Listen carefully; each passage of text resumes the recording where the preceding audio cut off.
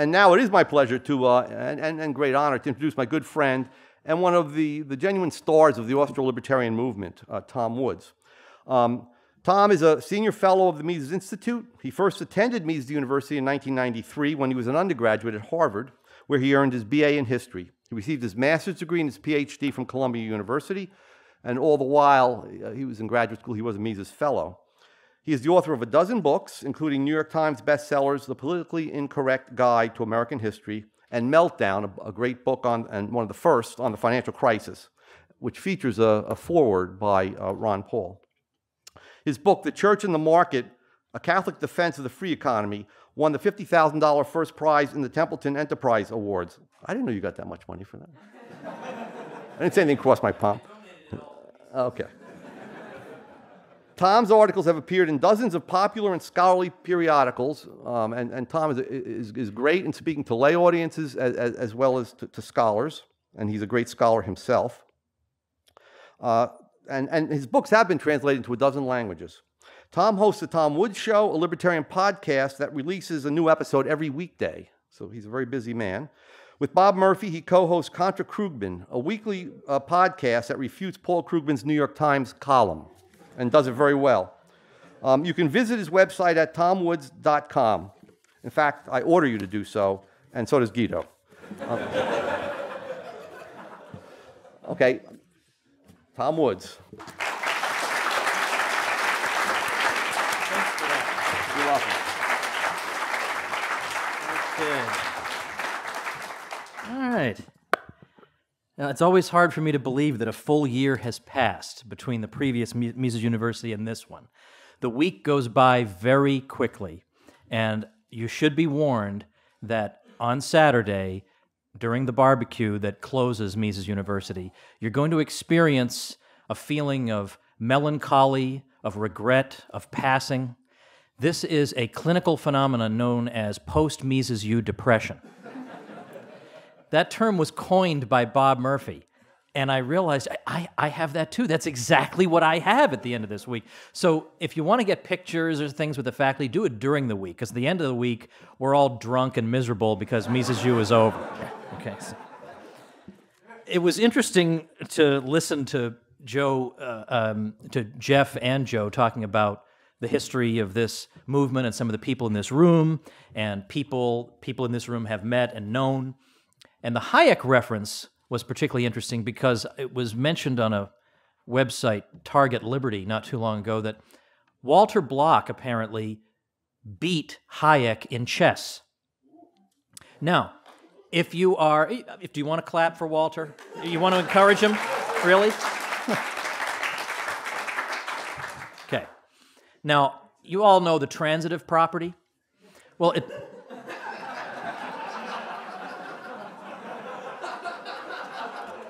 As you know, I have kicked Walter Block all over the chessboard. Therefore, I have more or less defeated Hayek.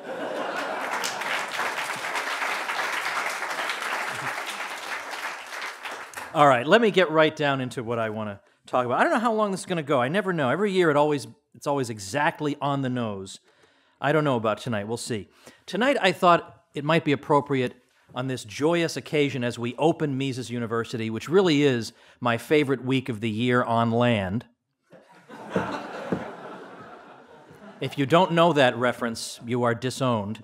Um, you know where you will get that reference is on board the Contra Cruise at contracruise.com. Correct. No, but I thought, given that this is, I mean, I'm not joking. This is honestly my favorite week of the year. I absolutely love everything about the Mises Institute, this program, all the faculty members. I don't know all you guys yet, so I can't say, but you look good so far. Anyway, I thought because it's such a joyous occasion, I thought tonight I would talk to you about some truly terrible, awful people. And the people I want to talk to you about are ingrates. I personally consider ingratitude to be one of the worst character traits you can have. You've had a favor received, and not only do you not return the favor, you don't even recognize that a favor has been done to you. Even worse, you insult your benefactor. Now, that is a no no. So I want to talk about, and by the way, I was going to spend a little time going through what Thomas Aquinas says about gratitude and ingratitude in the Summa Theologiae, and he has a whole section on, on he feels exactly the way I do, by the way, that ingratitude like deserves its own section. It's so bad. All right, but I'm not to, you know, you can, you all have your own copy of the Summa at home. You can flip through and read that. So instead, I'm to jump right in and tell you that there are two categories of terrible people that I want to discuss with you tonight. And the first one, this is really eh, shooting fish in a barrel, very low hanging fruit. I'm going to make the proposition here that socialists are terrible people. And yeah, I know. It's extremely bold and brave of me to say that to you folks. But I don't I don't mean it in the typical way that people mean socialists are terrible people because they they favor theft and violence and ignorance and backwardness and you know whatever. It's not that. It's that they are profoundly ungrateful people. Now, before I begin this section, let me point out I know that today we don't have a pure market economy. Believe me, I, of all people, know this. That's almost all I ever talk about is we have this intervention and that intervention and this crony and that special privilege and whatever. I, I get that. I get that. But socialists are generally not making these kinds of distinctions. They're not saying, well, we oppose that aspect of the market economy when there are, it's not really the market economy, when there are interventions or when there are people on the take. They're condemning the whole market economy. So I'm not interested in currying favor with them by saying, well, I too agree with 0.03% of what you're saying because I also think that this guy shouldn't get that subsidy. I'm not going to kiss their rear ends here over a little um, nitpicking like that. So, yes, I know that it's not a pure market economy, but for the sake of argument, from the point of view of the socialist, this is, a, this is like the most ultra capitalist economy that, that we've ever had, right? That's what they think. So, we're going to stipulate that for the sake of argument. And when I say they're ungrateful, what I mean is let's try to think about what life was like before the development of the market economy, the modern market economy as we know it. Let's try to let's just cast our minds back. It's not that far really. We can imagine we can think about what life was like. Now, one of my favorite examples because it's so chilling of what life was like in a pre industrial, pre market society uh, goes to Burgundy. We're talking about French peasants here, or just people who worked in the vineyards. As recently as the 1840s, now this is a story that I got when uh, Deirdre McCloskey was on my show. And if you are not listening, it's at tomspodcast.com. I just bought that domain. How was no one named Tom taken that domain? tomspodcast.com. I also bought learnaustrianeconomics.com. Who let that one go? Anyway, I, we'll have another talk about clever domain names. That I also bought bernieiswrong.com. I mean, what, why are these available? I do own those. You can go visit. I own them.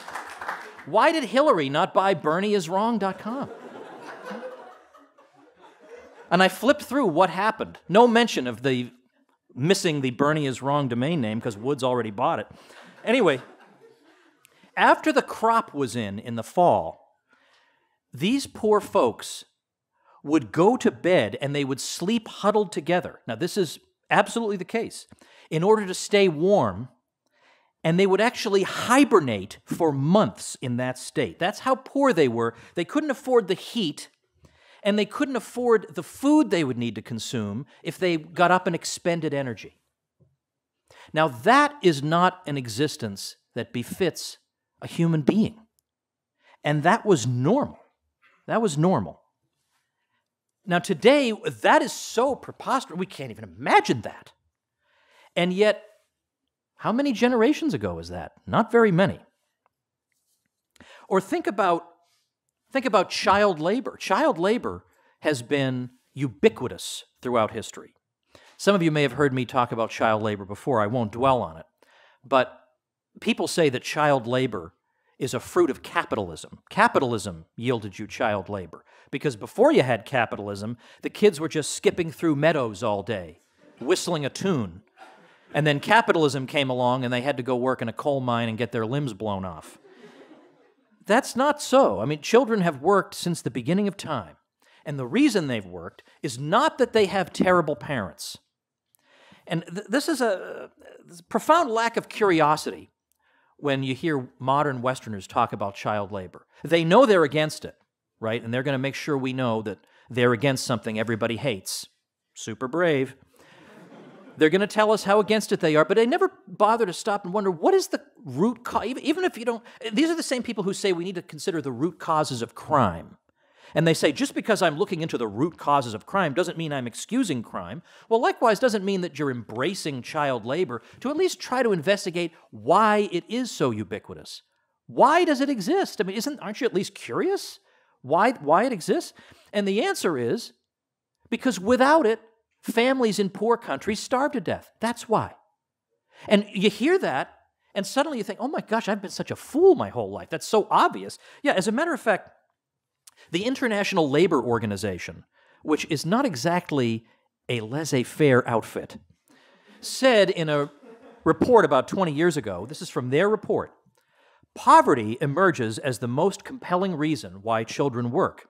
Poor households need the money, and children commonly contribute around 20 to 25% of family income. Since, by definition, poor households spend the bulk of their income on food, it is clear that the income provided by working children is critical to their survival. Hmm. So, there are two ways you could approach the child labor question. You could say, well, if a lack of food and a lack of labor productivity, in other words, if maybe if their parents' work could produce more, then the children wouldn't also have to work. Maybe we could work on that, get the parents' labor to be more productive. Then they could produce enough stuff to have the purchasing power to buy more food, to buy more things. The kids won't have to work. Or you could just say, let's pass a law against this. And unfortunately, there are enough low IQ people in the world that they go for the second one. Let's pass a law against the kids working. We just learned that the kids are working because the family will starve if they don't so let's ban them from doing it. That's not the best way to go about it. And Oxfam actually did a study of what happened when Bangladesh tried to get rid of child labor. Answer the children starved to death or went into prostitution, which is exactly what all the libertarians tried to say at the time, but none of the do gooders could manage to fit into their busy schedules five minutes to think about that. Now, why do I bring this up? Well, the, not that we celebrate child labor. We got to understand if you want to get rid of it, you got to understand what's why is it there. And what's gotten rid of it has been the market economy because it makes your labor more physically productive. My father, those of you who are on my email list um, may have read today. I, t- today's actually my would have been my father's 67th birthday, and he was a where a, a forklift operator in a food warehouse for 15 years, and that was not fun work. Uh, this it's humid and hot. It's, just extremely unpleasant.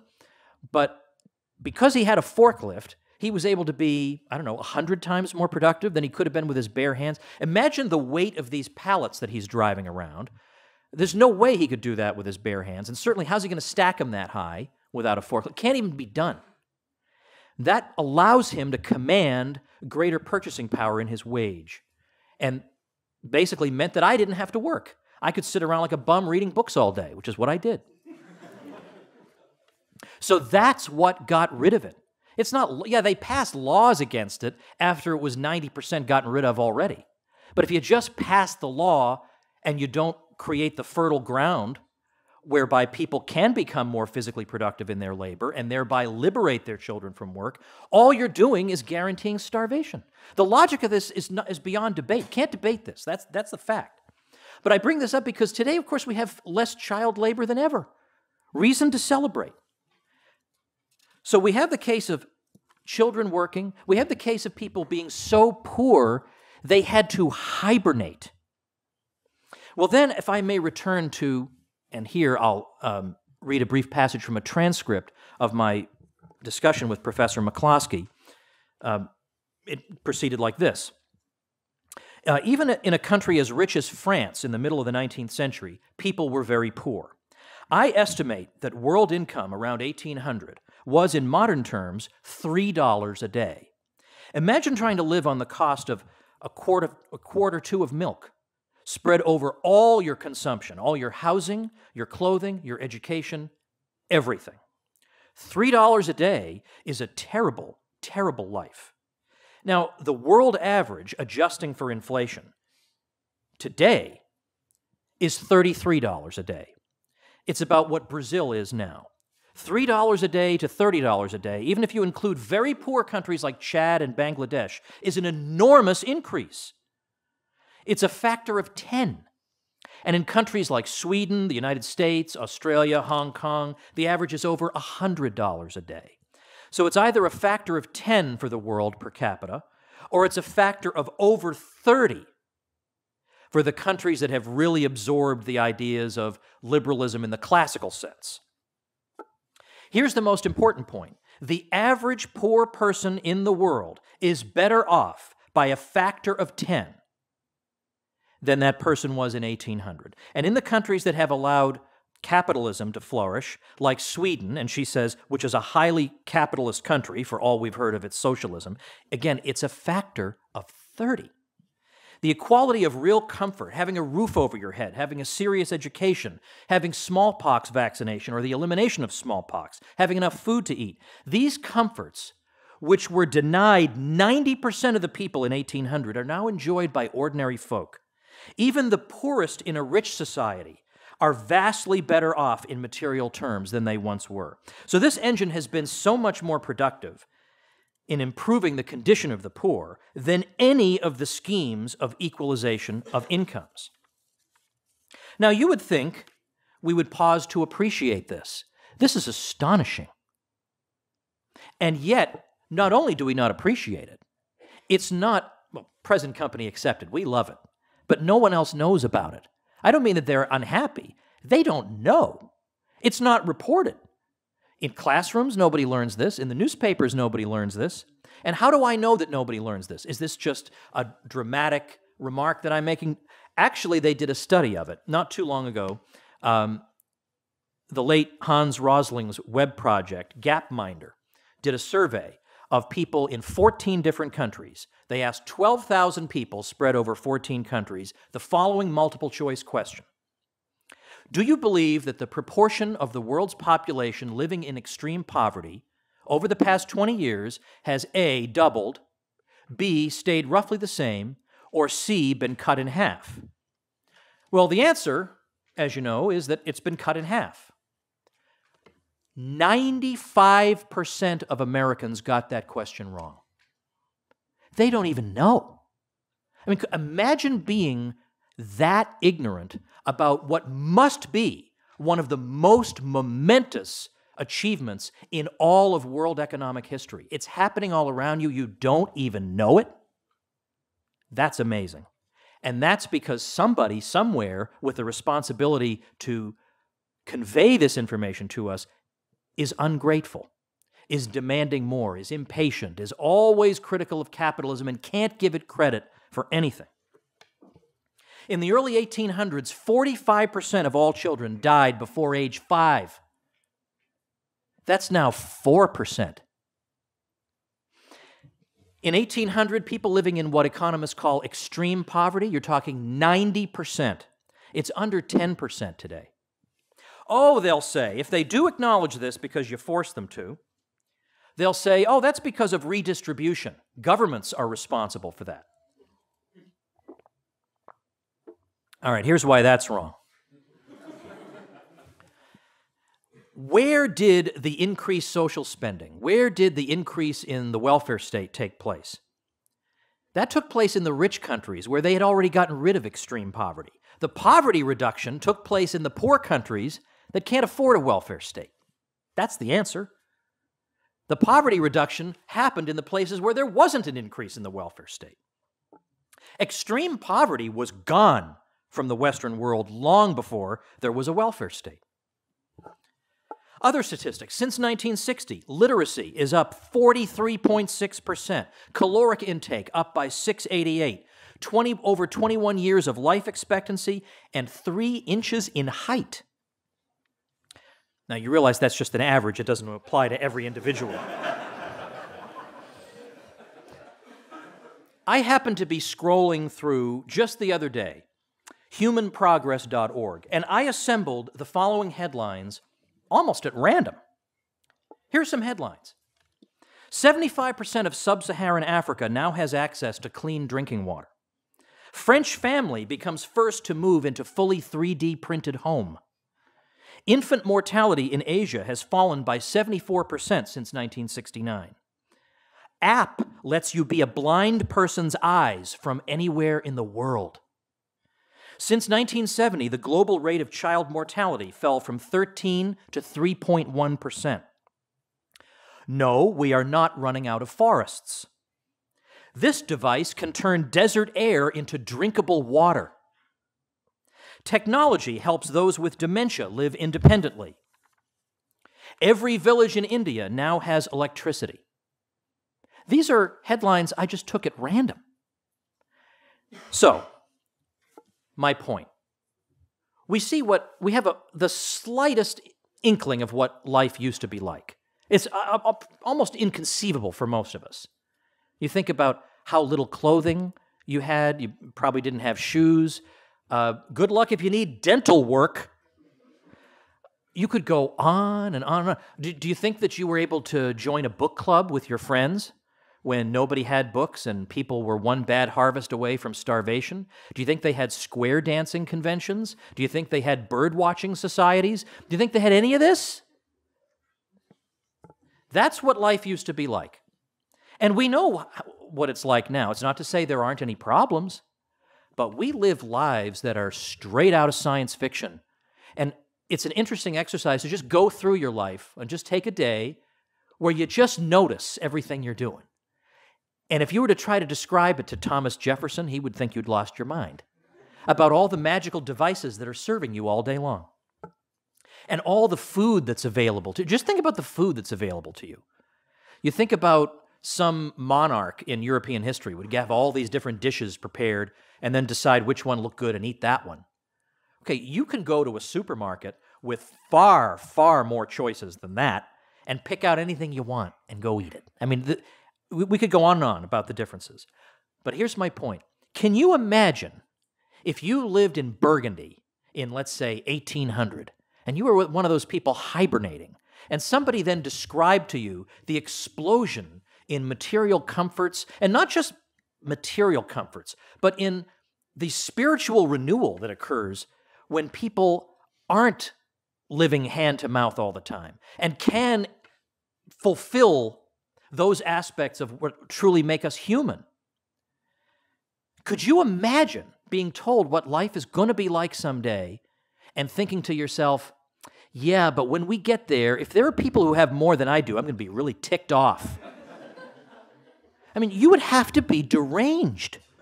You'd have to be deranged for this world to be described to you and for you to be saying, yeah, but you know what? Somebody, that, you know, that magical vehicle that's going to drive me around with a magical device that tells me how to get where I'm going? Somebody else might have a bigger one. You're a terrible person if that's the way you think. That you're a terrible person. There's probably no hope for you. But you guys are young enough that I can, you know, we're going to try and just stop that from taking root here. We can stop it from, from starting, but once it starts, it's hard to make an ungrateful person grateful. These are ungrateful people. Yes, I know there's plenty of injustice in the world still, and I want to fight against all that injustice. But the fact is, the market economy has made possible miracles no one could have dreamed of and the response from socialists is to get out a bullhorn and go scream at their employers, that's a deranged, sick, ungrateful individual. So that so we, we're not like that because we pause to stop and appreciate and be thankful for the things we have. All right. Now that's the easy part. The easy part is going after the socialists. Now I'm going after the libertarians. Ooh. All right. I'm sorry. I'm. yeah, no, I don't want to talk about that. Those people don't like me very much. Oh, uh, the, uh, we're talking about the libertarian socialists. They don't like me, by the way. You can look them up. They do not care for me at all, one bit. And as you can imagine, I have lost all kinds of sleep over that terrible tragedy. there are people in the libertarian world who are profoundly ungrateful toward benefactors of this movement, whether the Austrian school or libertarianism. Let me give you a brief example. No, I'm not going to mention names. I mean, come on now. We, we got social hour afterward with alcohol. You can get the names out of me then. but just the other day, I was in a Austrian group on, on uh, Facebook, and somebody said something disparaging about Lew Rockwell. And, you know, I just, that, that stuff makes me crazy. I'm sorry, that makes me crazy. You attack one of my friends, I just get crazy. You know, you attack me, and I think, all right, well, I'll make an email out of that and smash them. But when it's my friends, I can't even, I can't even control myself. So, I, so here's what I came up with for that person. He said, yeah, Lew, that Lew Rockwell, he's just garbage.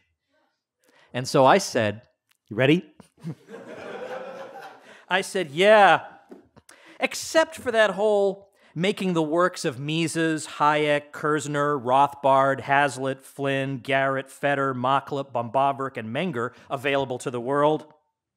And except making the entire print run of, of major academic and popular libertarian periodicals available to the world, plus the greatest collection of libertarian video courses, including entire and exclusive courses with Robert Higgs, Paul Cantor, who studied with Mises, and Ralph Raico, plus thousands of hours of audio lectures on all manner of economic, historical, and philosophical topics, plus training two generations of Austrian economists through his top-notch Mises U training program, plus you guys remember you guys remember a guy named Will Grigg? Anybody in this room? Okay, Will Grigg who died not long ago. Will Grigg was the most hardcore anti police abuse, police brutality, all that stuff guy there is. Period, bar none. He was the best. And as with so many people who are the best, the official libertarian world pretended he didn't exist. The same way the official libertarian world pretends Scott Horton doesn't exist and he's the best foreign policy guy we have. Well, who was the one person who consistently gave Will Grigg a platform was Lew Rockwell. Fashionable libertarians didn't have time for Will Grigg. Lew Rockwell was hardcore anti war on 91201. And not to mention, he holds every year by far the best attended and most academically rigorous annual scholarly conference in the Austrian world. Yeah, except for all those things. Did not hear from the guy again.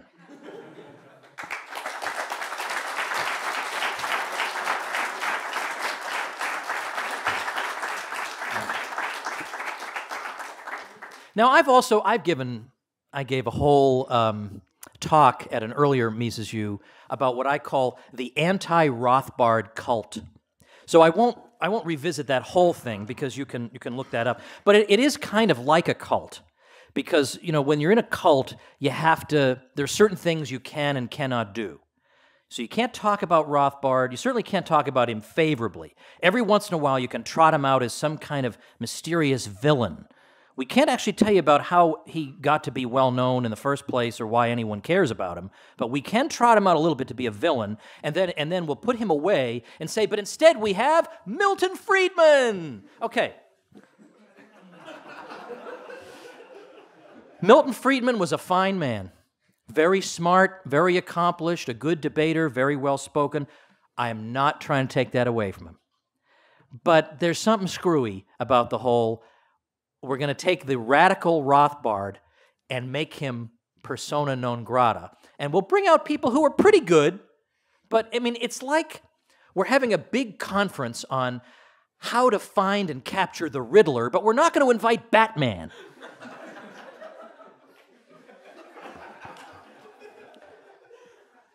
so Rothbard, uh, I'm sure most of you know, the guy Okay, so he writes Man, Economy, and State, which basically keeps what's left of the Austrian movement together, and many people credit him at the famous South Royalton Conference in Vermont in 1974, I guess, with, with having influenced the people in that room with that book, which Mises said was just foundational. Everybody needs to, to uh, listen to what Rothbard is saying.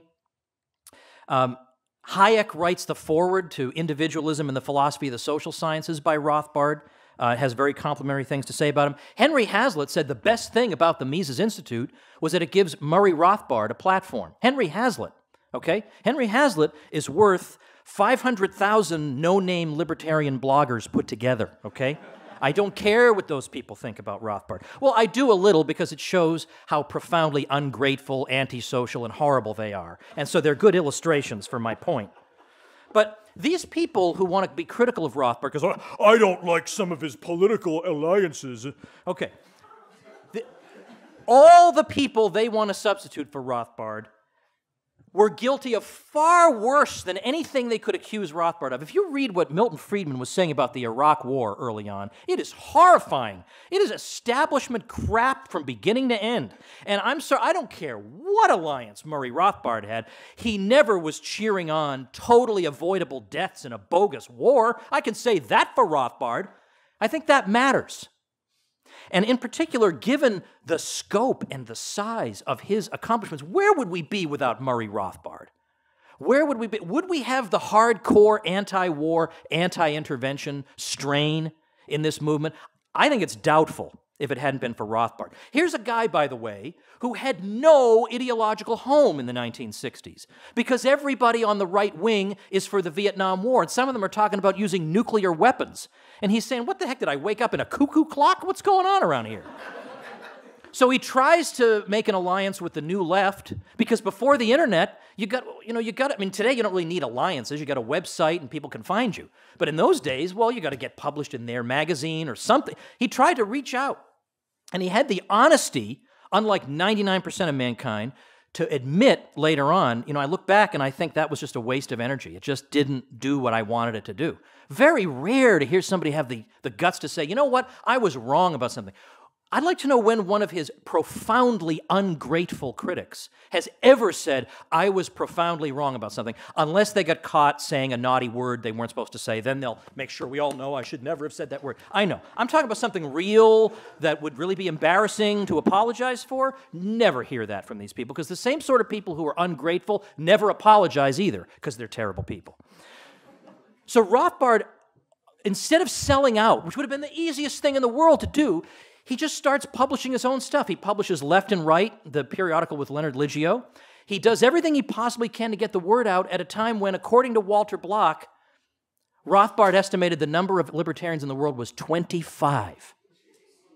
And he's still out there fighting. Would all of us have had the guts and the determination to carry on when there were 25 libertarians in the whole world. He kept on doing it when the easiest thing in the world with a guy of his intellect and his academic credentials would have been to sell out, go teach at Columbia University about the Keynesian multiplier, and collect his pension. That would have been the easiest thing in the world. And instead, he kept fighting to keep libertarianism alive and unsullied and if you're going to sit and nitpick some political alliance he made years later, you are a profoundly ungrateful person. And I'm leaving out all his contributions to scholarship, the fact that Yes, I know there was Gustave de Molinari, but let's face it, Rothbard invented anarcho capitalism. He gave it philosophical, economic, and historical grounding, the likes of which nobody had done. He was he right about everything? Probably not. But he was a pioneer. And he wrote, I don't know, he probably made 528 million claims in the course of his life, so two or three of them might not be right. but this man helped to make us who we are today. And what's even worse is he helped to make some of his critics who they are today. And that's what makes them profoundly ungrateful people. But we have people in this room we should be grateful for as well. Jeff Herbener has been a friend for uh, many years, and I first met him in 1993 when I was sitting um, not quite where you are because we had Mises University out in the West Coast in those days. Eat your heart out. But I got to know him, and I've gotten to know him all the more since we've been faculty together at Mises University. Did you know that Jeff Herbener got his PhD, and was a mainstream economist. It wasn't like he was secretly studying the Austrians while he was getting his PhD. He got his PhD, was a mainstream economist, and then he came to the conclusion that, wait a minute, this is not right. I think the Austrians are right. Now, does any economist think to himself, the way to fame and fortune and success is to abandon the mainstream and become an Austrian mid career? Who would do that? We should be grateful for Jeff Herbener. He didn't do that for riches and influence.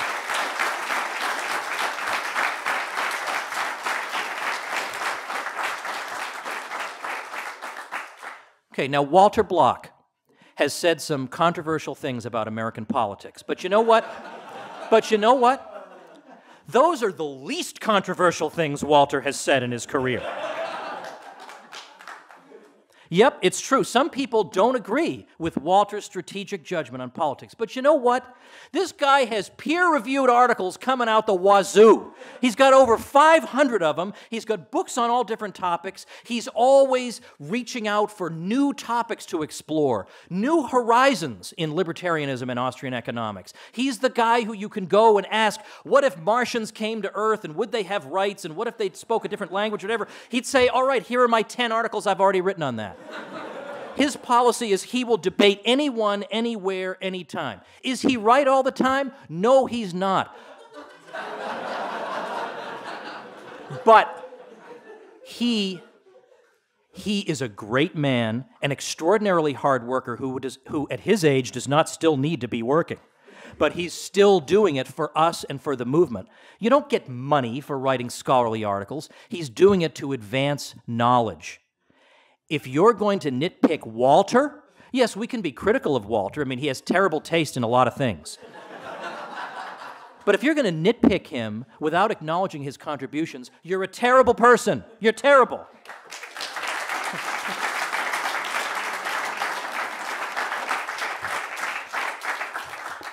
All right, I'll just do a bunch of them together. Now, by the way, I'm sorry for the faculty. It's not, not you're not all being mentioned. Okay, so don't worry. You can you don't have to squirm. What is he going to say about me? But look, we got Peter Klein, who's got a PhD from Berkeley, scholarly publications of all kinds. Here he is taking his stand with the Austrians. He could be anywhere. He could be doing whatever he wants, and he's with us.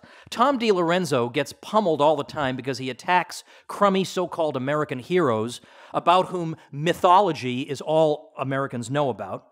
We got Joe Salerno. Now, Joe Salerno is a great example of a guy I, I, was wearing my Joe Salerno shirt earlier today. I'm gonna, uh, just for about an hour. So when you see me wearing it on the last day of Mises U, I don't want you to think, is that the same shirt he said he wore earlier in the week? I only had it on for an hour. So it'll still be like one full day that I have it on.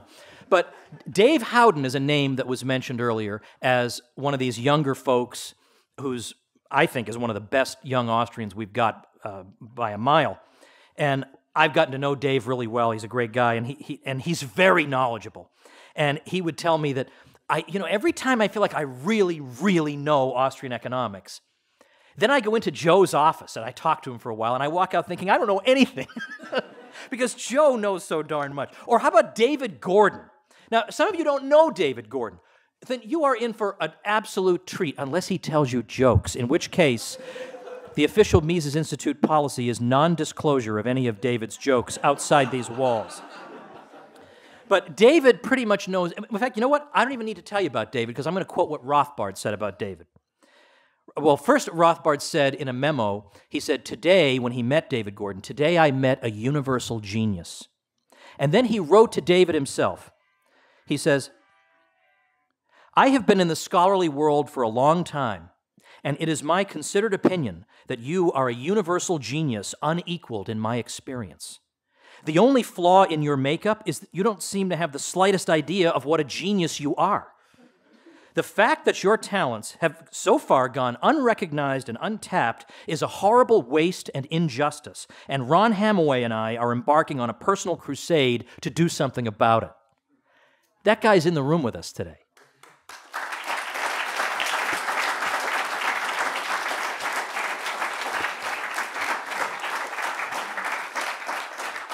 And then, of course, joining us tomorrow, Judge Napolitano works insane hours, and he's taking a week out of his schedule.